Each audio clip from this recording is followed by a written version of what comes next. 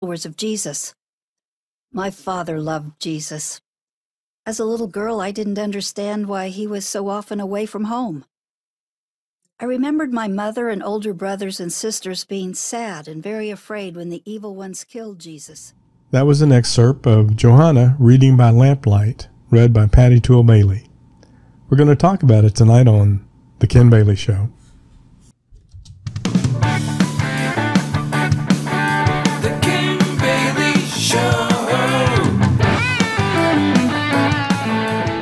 That's right. It's the Ken Bailey Show. I'm Ken Bailey along with Patty Tool Bailey, and it's um, 8 o'clock in the Central Standard Time, and uh, we're going to be doing the Ken Bailey Show.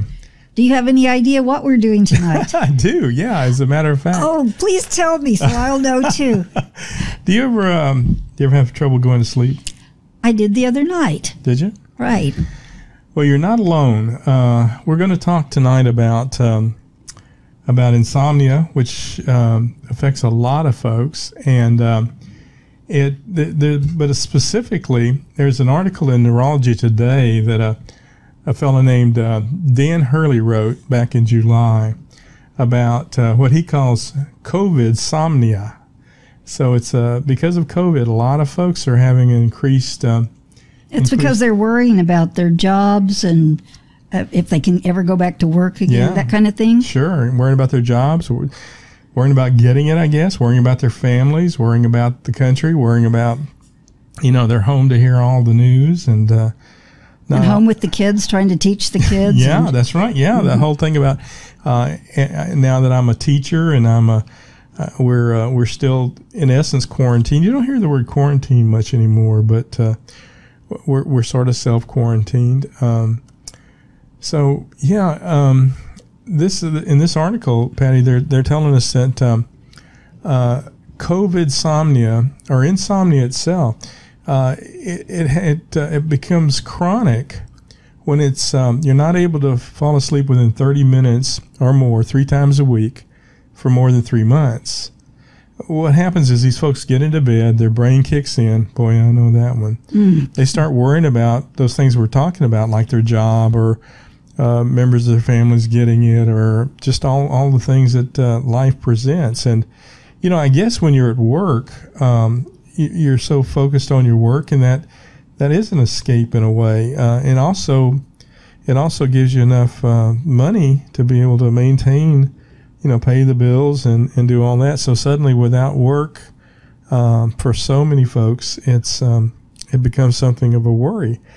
And uh, so we're going to talk more about uh, uh, about insomnia, about COVID insomnia, but also we're going to talk about um, something that, that you've actually done that uh, may help.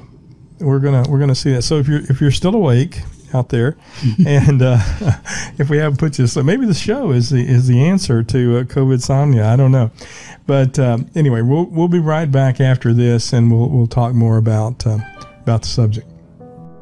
Are you missing your visits to the nail salon? Sure, you can do them, but the pampering and ease is just not the same, is it? Well, why not make it a little easier and pamper yourself with your own grip and tip to give you a hand, an extra hand?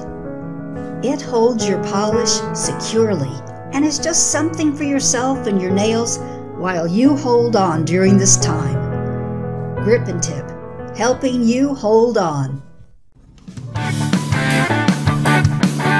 The Ken Bailey Show. All right, we're back with the Ken Bailey Show with Patty Tool Bailey, and we're talking about sleep and the lack thereof. Yes.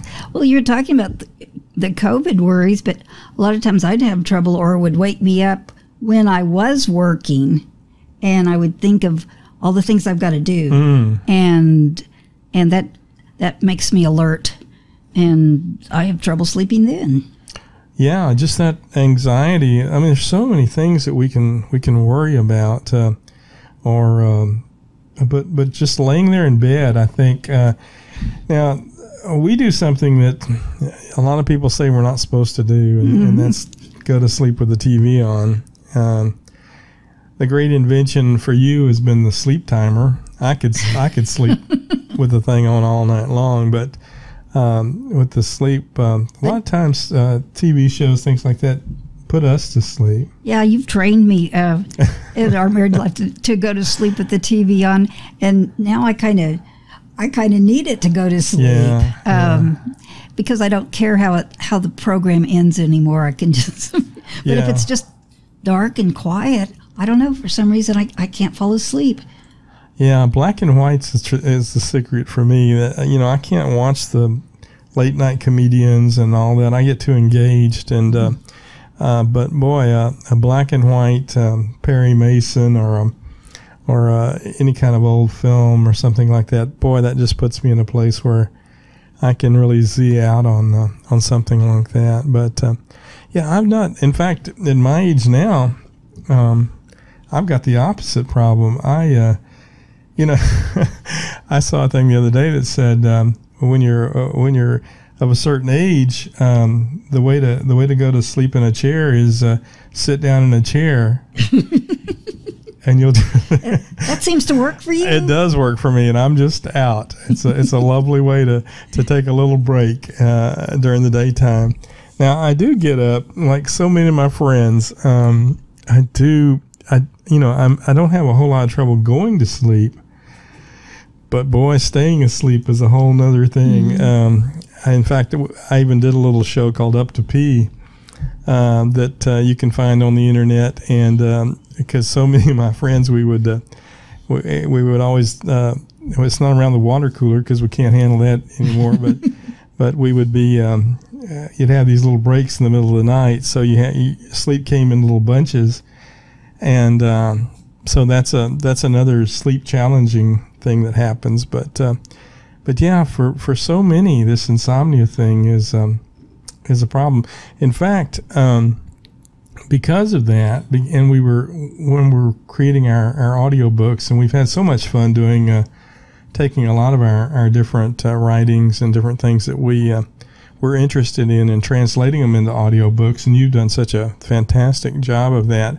Thank you. And and one of those things is um, the book we've called uh, Johanna Reading by Lamplight, and uh, it's. Do you want to tell us a little bit about um, what that is? Well, basically, it's just readings of the words of Jesus.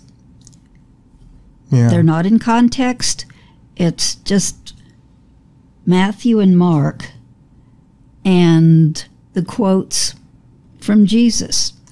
And no context at all, just the words of Jesus. And we've done it in a in a kind of a soft way right. that listening to scripture can be the last thing you hear as you go to sleep.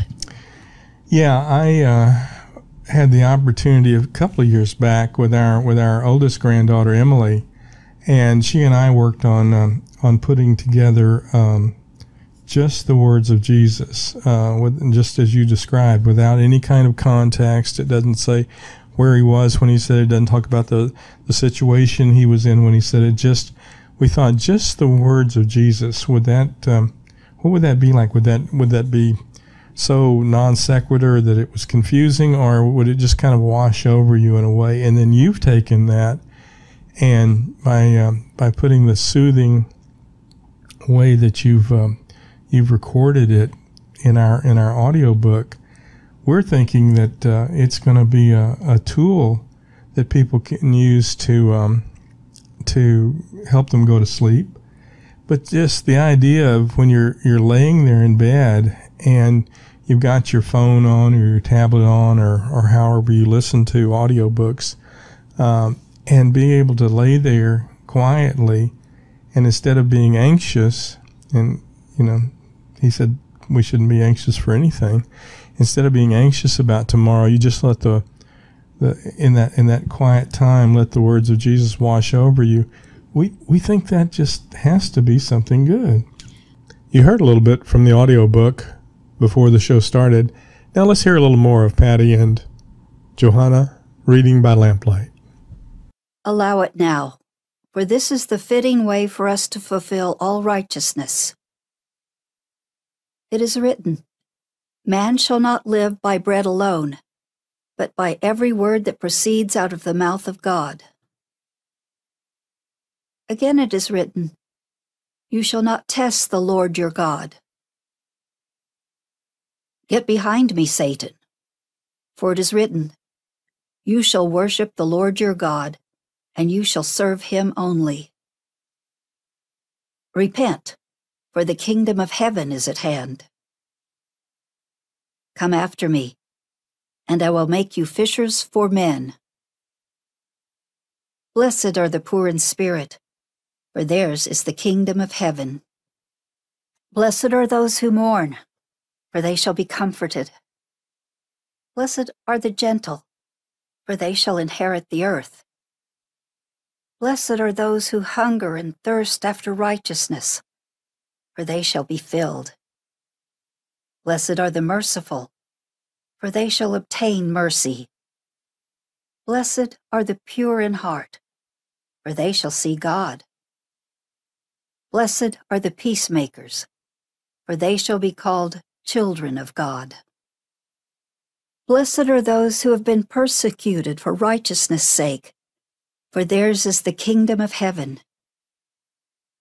Blessed are you when people reproach you, persecute you, and say all kinds of evil against you falsely for my sake. Rejoice and be exceedingly glad, for great is your reward in heaven. For that is how they persecuted the prophets who were before you. You are the salt of the earth. But if the salt has lost its flavor, with what will it be salted? It is then good for nothing, but to be cast out and trodden under the feet of men. You are the light of the world. A city located on a hill can't be hidden. Neither do you light a lamp and put it under a measuring basket, but on a stand, and it shines to all who are in the house. Even so, let your light shine before men, that they may see your good works and glorify your Father who is in heaven. Don't think that I came to destroy the law or the prophets. I didn't come to destroy, but to fulfill.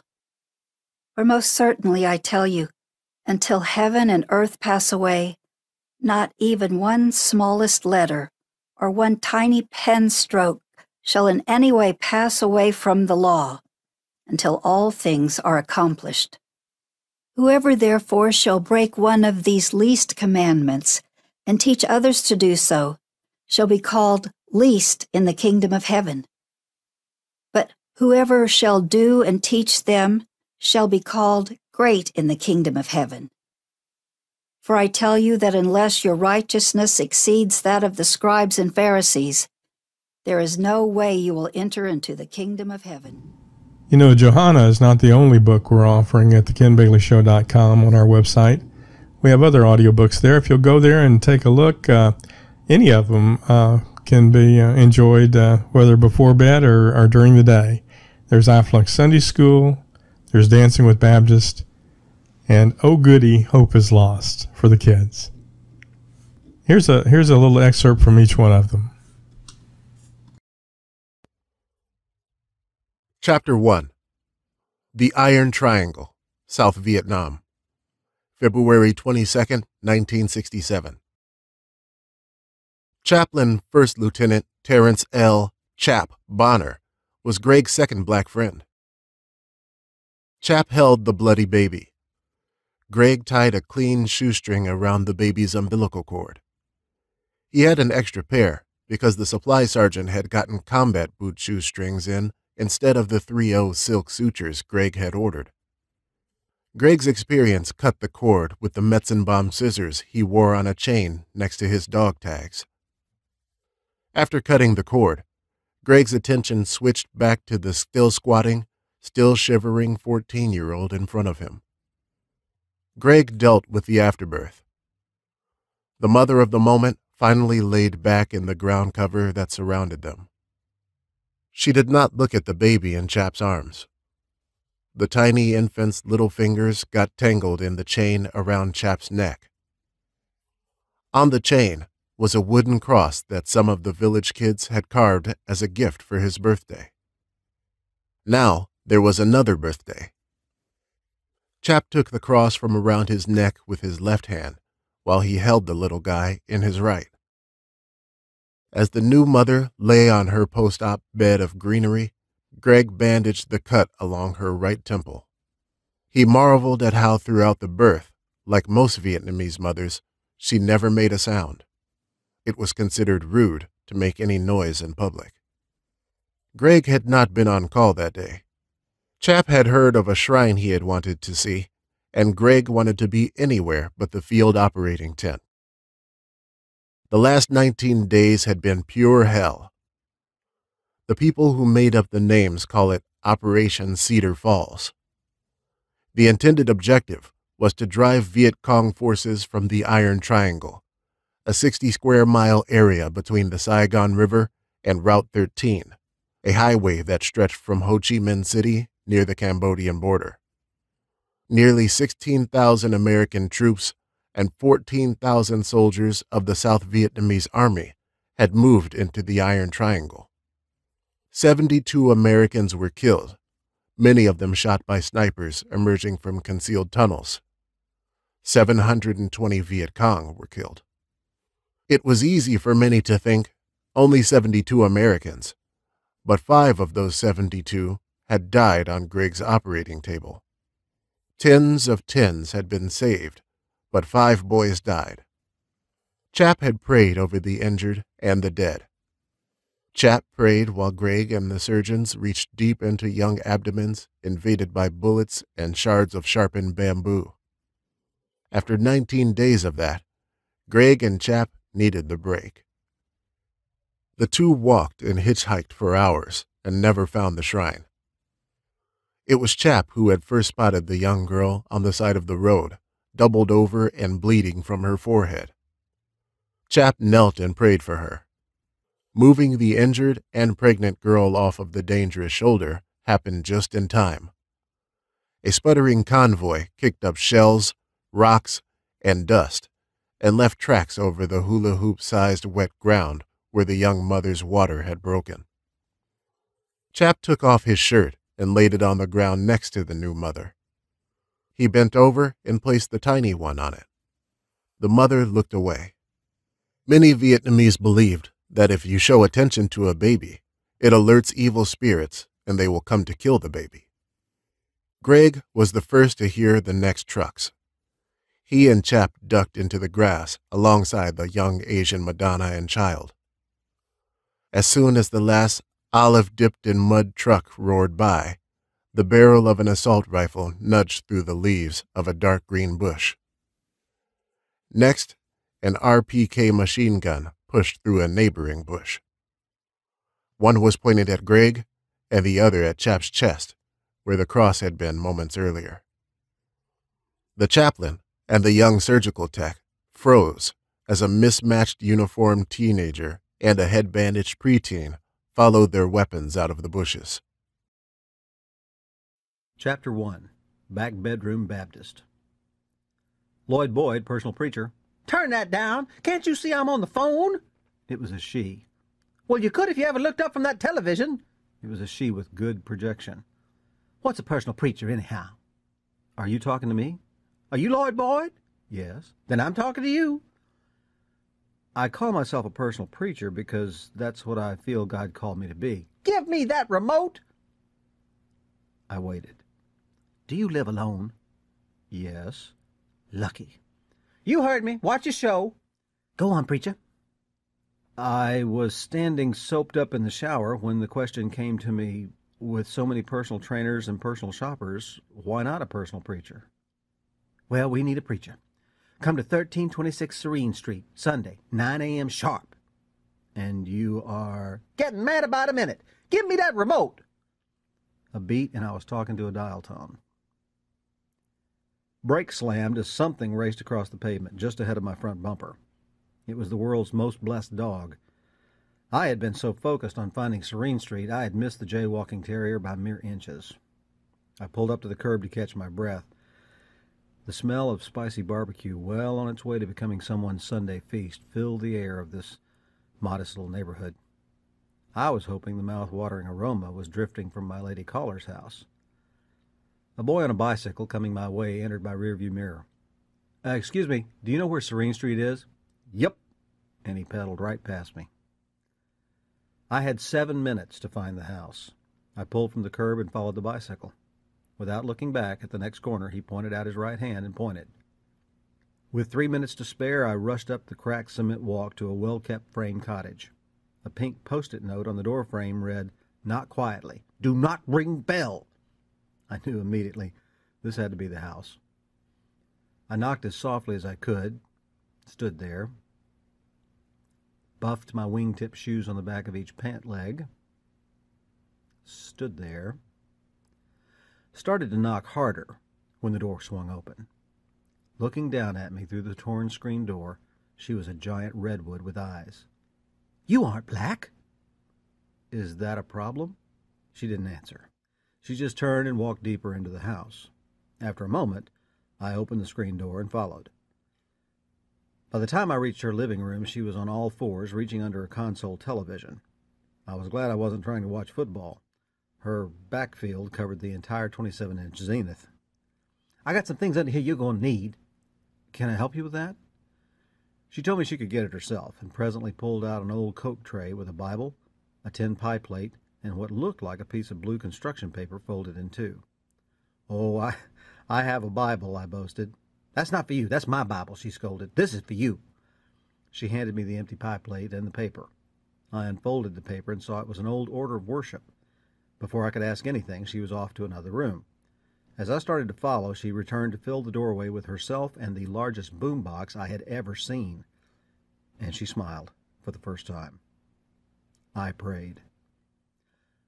I'm Lloyd Boyd, personal preacher. I'm Sister Selma. It's very nice to meet you. Sit down for a minute. We sat on her comfortable sofa and she told me about Grant. She gritted her teeth and cried and laughed. I listened and tried to follow.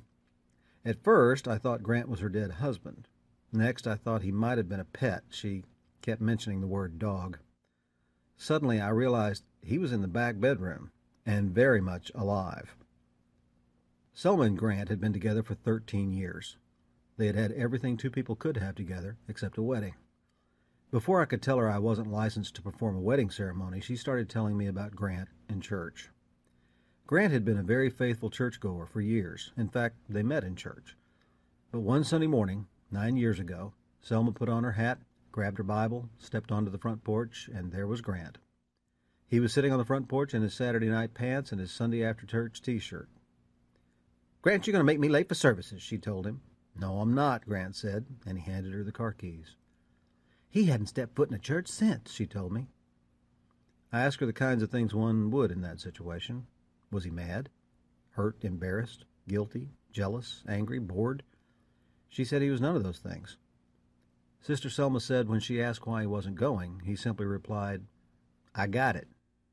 After she used the obviously empty threat, You're going to get it, she finally asks seriously, What do you mean?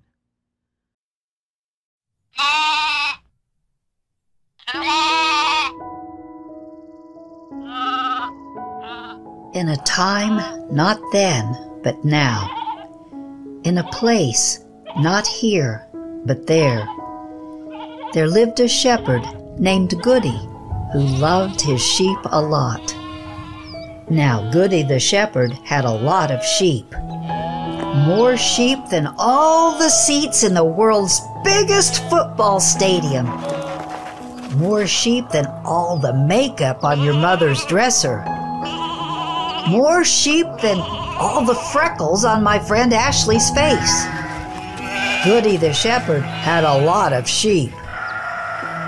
But even though Goody had so many sheep, he knew each one was special, and he gave each sheep their own special name. Come on, little Genesis. Exodus. Leviticus. Hannah. Montana. Idaho. Each evening, just before bedtime,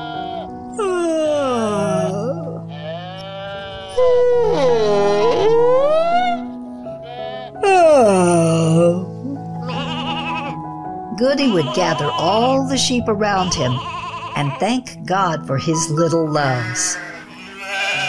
And God bless Wally, Willie, Woolly, Wiley, Wally. You already said that. Sorry. Lovey, Faith, Charity. Wait a minute. Where's Hope? Here, Hope! Hope! Hope! Goody the shepherd went to each part of the flock calling for Hope, and all the sheep looked for their little friend. But no one found Hope. Oh, goody! Hope is lost! Just then, dark storm clouds moved across the sky. Poor little Hope was lost and alone, and now she was going to be in a terrible thunderstorm. Now Goody gathered all his little sheep together. Even though Goody had so many sheep and all but little Hope were safe and sound, Goody couldn't stop looking until he had Hope safely back home. With the lightning lighting his path, Goody trudged across the muddy pasture looking for Hope. In the dark, he came to the edge of a jagged cliff. Below the cliff were bunches of thorny bushes. Oh, get away, you're sticking me. Hey, don't you know it's not polite to point? Just as he was turning to go, Goody thought he heard something coming from the thorny bushes. Goody listened harder, but all he could hear was the thorny bushes. Ow! Ow! Oh, that hurts. About to give up for a second time, Goody heard it again. The next flash of lightning lasted long enough for Goody to see something struggling against the branches of the thorny bushes. It was Hope! Excitedly and without worrying about getting stuck by the thorny bushes, Goody the shepherd reached in and pulled out little Hope. With Hope in his strong arms, Goody thanked God for little Hope and then took her back to the flock where she belonged. When they got back, all the flock cheered Oh, goody, you found hope. as the thunder clouds turned to cotton clouds. Everybody celebrated and thanked God for the return of hope. It was a beautiful night in the pasture. Did you know that just like Goody the shepherd loves each of his sheep, God loves each of us?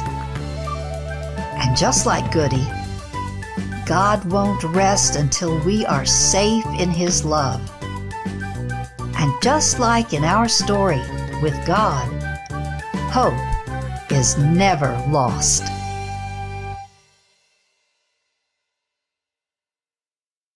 And if you'd like your own copy of the audiobook of Johanna reading by lamplight, go to thekenbaileyshow.com and uh, and click on the um, the the image that has the cover of the audiobook on it, and you can get your own copy. And and let us hear from you too. We'd love to hear um, how how what kind of experience you had, and, and share with us your experiences with uh, insomnia, even COVID insomnia. We we like to hear from our listeners about everything that's going on in our lives. We take time to pray uh, for those that we hear from. So uh, so please do that. We're going to be back next week. Um, I kind of teased it earlier, Patty, but we're going to be back next week with uh, some really great news uh, that includes our sponsors, but it's also about how our listeners and folks that we uh, that are, especially folks that are have falling a little short on cash this year for Christmas. I could use some Christmas cash. yeah, Lots of us can, and uh, and thanks to our sponsors and, and a couple of great things that are happening through One Spire Entertainment, uh, we're going to be able to offer uh, some ways, uh, some really fun ways for uh, for you guys to to make some Christmas cash and uh, and have a good time doing it, and and feel really good about uh, about helping folks out uh, as you as you earn uh, your Christmas cash. So, uh, so tune in next week. We'll hear about um, a, a great way, a new opportunity out there to make some Christmas cash, and um, and we'll be back. Uh, we'll be back with you and look forward to it. Thanks, Patty, for a great show. Thank you. Take care, guys.